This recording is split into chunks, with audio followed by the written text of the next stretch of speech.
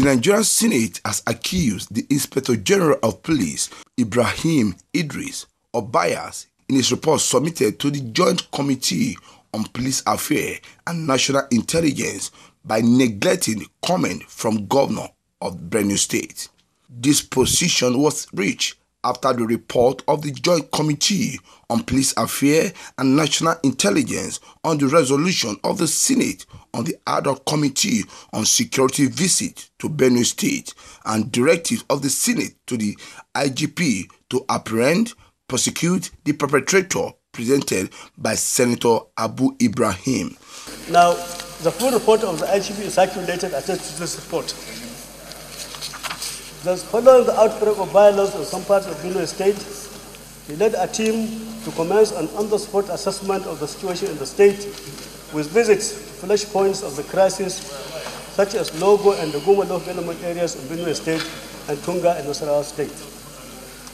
The Thereafter, a stakeholders meeting was convened on Thursday, the first day of January 2018 at Makurdi, Benue State, where he met with the governor of Benue State, religious leaders, traditional leaders, opinion leaders, and civil society organizations.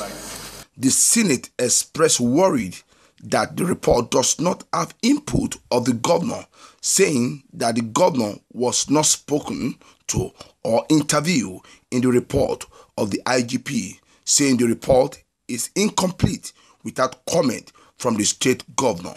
I noted that in the statement made by the IG, he copiously mentioned the governor of um, Benue, you know, um, in most of the paragraphs. But I didn't see where the committee made an effort to speak with the governor. Unless I didn't see that. But because if, in the circumstance, they did not interview the governor, and his name had been mentioned in respect to certain statements and actions, it's only fair to him, and then uh, natural justice requires too that um, he should be invited by the committee and hear his own side of the story so that we have a balanced view of what transpired. That's just my only observation. A cross section of senators accused the Inspector General of Police of being biased, which they say the report would be more productive if the governor, who was massively accused, be invited by the Inspector General of Police. I've gone through this summary, I've gone through this report.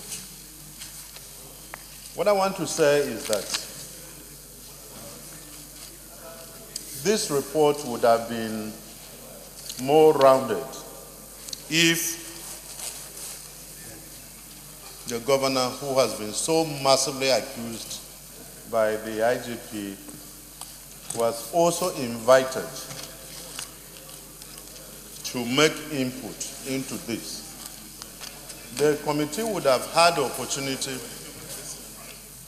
to interact with him.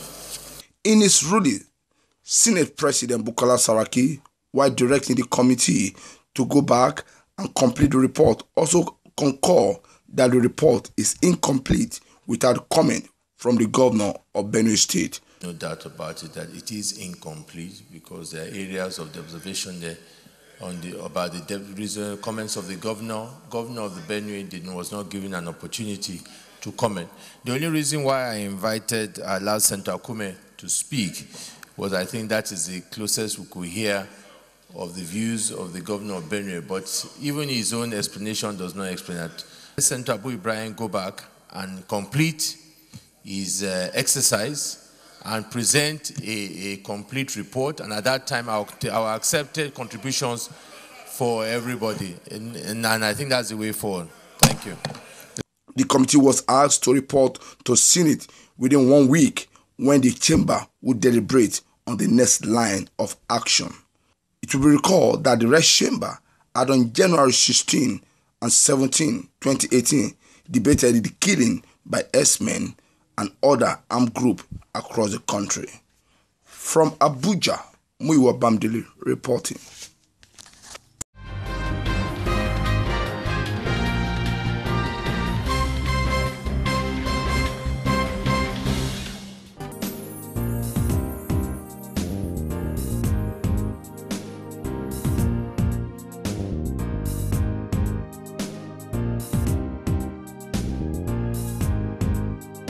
Nigerian Chief of Army Staff Lieutenant General Tukur Buratai has ordered immediate deployment of army troops to Benue, Taraba, Nasarawa, Kogi, Niger, and Kaduna states to contend insecurity in the states.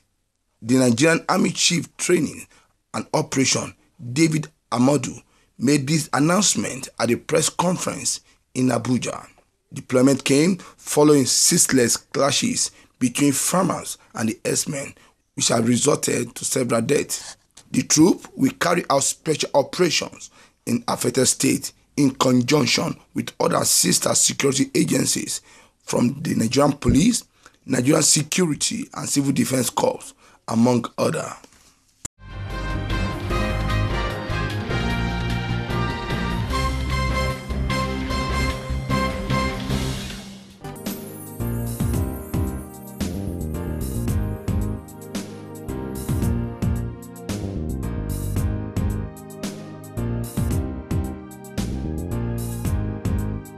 Peace Ambassador Hussein Kumasi has joined other Nigerians calling for youth participation in politics, especially in seeking for elected positions to be given a chance, even as the country prepares for its general election come 2019.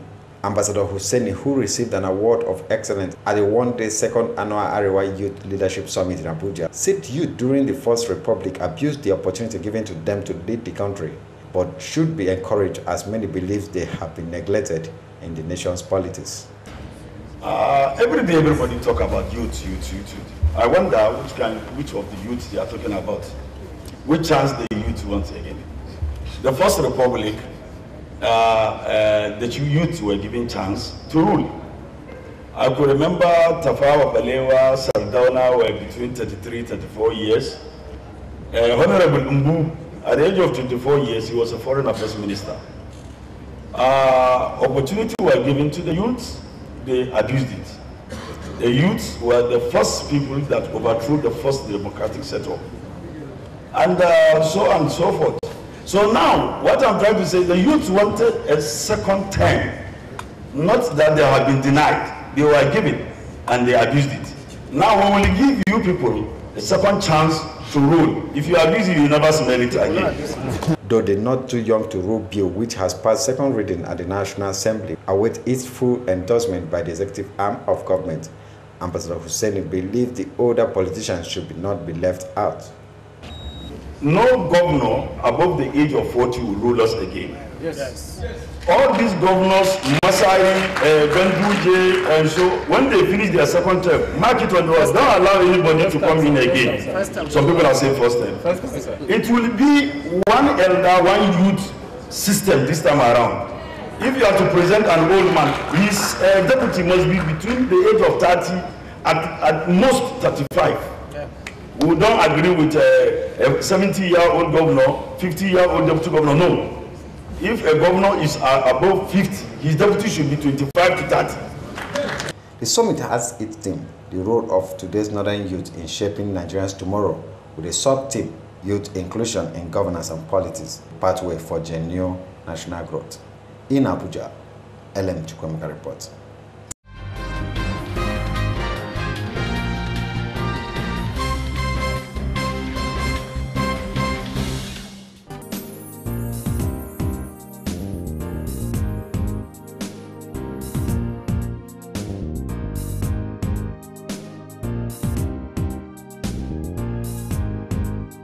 The national chairman of the main opposition party in Nigeria, PDP, Prince Uche Secondus, says that Nigeria is going through what it never bargained for in all progressive Congress administration with its nuclear nepotism forms of government. The PDP boss told the party caucus at the National Assembly that all hands must be on theirs to save the country from President Muhammadu Buhari-led administration. Sekundu described Buhari regime as a monumental disaster.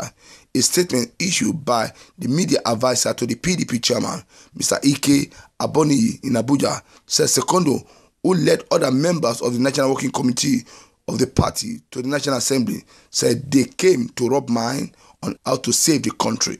Sekundu said Nigeria has seen what they never bargained for in the last 32 months of APC administration, and their people are being killed on daily basis. Nuclear nepotism is in vogue. PDP chairman charged its National Assembly member to brace for the challenge ahead since they were the leaders of the party at the grassroots.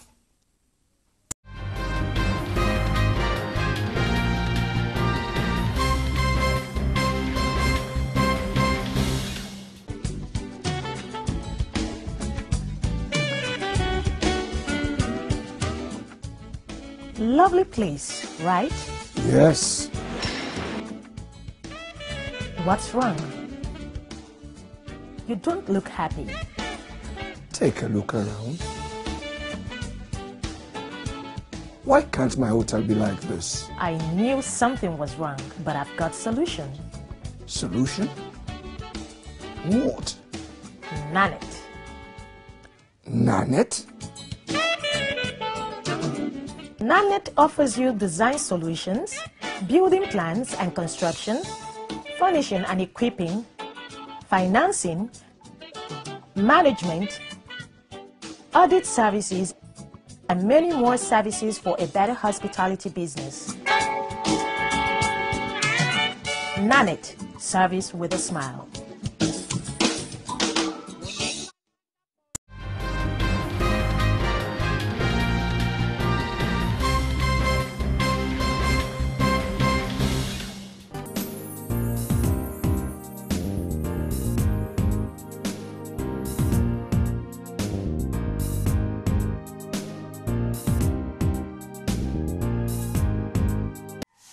The Nigerian Senate has shown concern on the approach of the EFCC in its investigation of corruption cases. This as its Committee on Anti-Corruption and Financial Crime begins an inquest into the arrest of the chairman of Innoson Motor, Innocent Chukwuma. The committee chaired by Senator Chukwuka Utazi is investigating the abuse of power by the anti-graft agency as it relates to its involvement in a purely commercial transaction involving Innocent Boss and GT Bank. Last year, on 19 December 2017, the Anambra-born industrialist was allegedly manhandled and his wife assaulted before being whisked away by the armed EFCC operative. The widely reported incident of his arrest has since sparked a series of other events, including lawsuits. At the Senate investigative hearing, the lawyer of Innoson Group of Motor, Professor Makati Madinaga, recounted the action of the operatives of the EFCC at the point of arrest of his client. EFCC men operatives that came to arrest me slapped my wife because she asked them of their warrant of arrest. They also beat up one Chidozie who is living with me in stupor whilst using tear gas on him for failing to tell them where I was and he almost passed out. EFCC operatives maltreated me as well, used tear gas on me, flew me to Lagos in pair of shorts and a t-shirt, snapped me with camera and sent the pictures to GT Bank and this principal staff. They also injured some of my staff while they were shooting the live bullets and tear gas. The account of the illegal representative of the car manufacturing company was then followed by Senator Dino Milai inquiry on whether personnel of the anti-graft agency had warrant authorizing the said arrest. And I'm sure you're conversant with that. Okay? If you're not competent to represent the EFCC, we'll ask you to go. You are here because you are competent to represent the EFCC. Okay? So my question is very, very simple. Objective question. Did you have a warrant of arrest when you went to Enugu to arrest him? I act as I said. You are not. You, you will. You will have to answer this question, or I'll take the leave of my colleagues to walk you out. This is the Senate. This is not a jam question. Yes, sir. I, I will, if you permit me, I will ask for permission to verify that. Uh, I cannot categorically say because it's arising from this, which I didn't anticipate. Okay. Ah, I looked at, I will just Oh, oh, don't worry, don't worry, don't worry. Senate committee said the action of the EFCC is bad example of law enforcement, noting negative effect it may also have on investment. When they now to violate his right, you know, someone went in, in his house. That was what we heard in the Senate. And that's how this matter came to the Senate. And of course, we are looking at looking at it from that point. That was what my colleague said. This is human rights aspect of it is what we want to say. And that is what we really, that is what we find missing in your own act. Having to effect arrest before investigation. Investigations ought to be completed before arrest. That's what happens on that claims. So let us not keep making this mistake. Thank you. Sir, sir, sir, please, if I can. The committee subsequently urged the EFCC, GT Bank, and Innoson Motor to present other vital documents that will aid its investigation.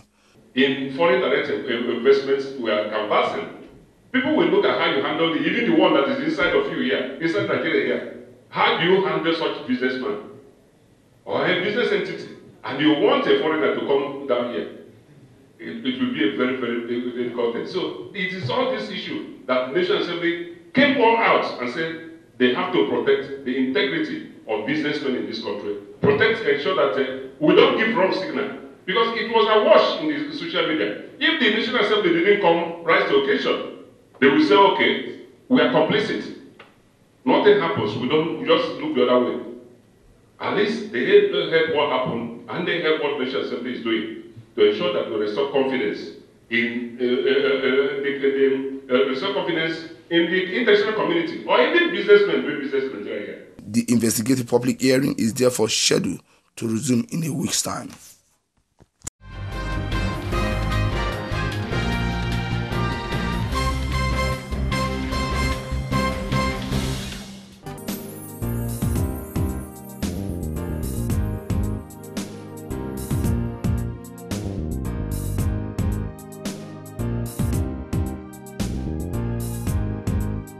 The Nigerian Communications Commission said the number of active mobile phone lines in the country rose to 144 million in December 2017.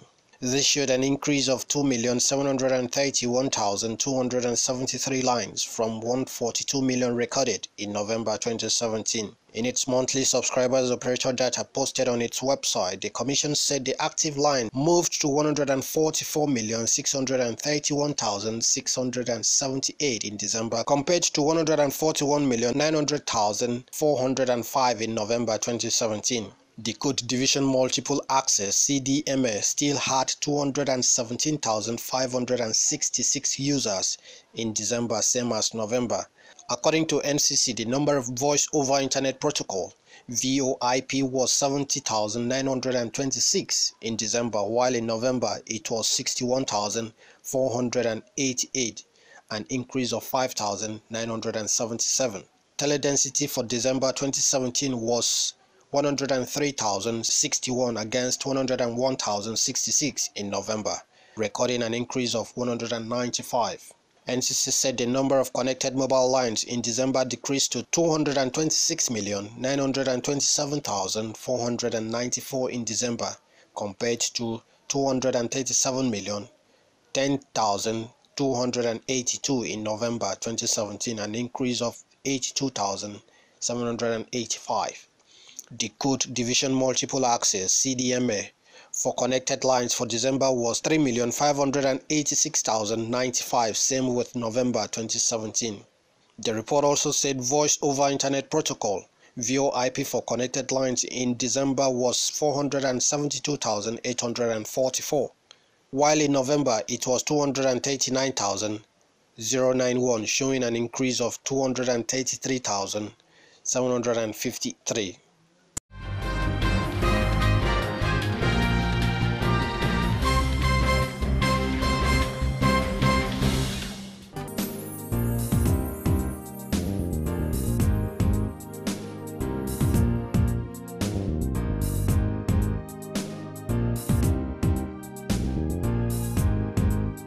Former President Olusegun Obasanjo says he has no candidate for any political office come 2019. He said this in Abeokuta during a course visit by a youth group from Delta State.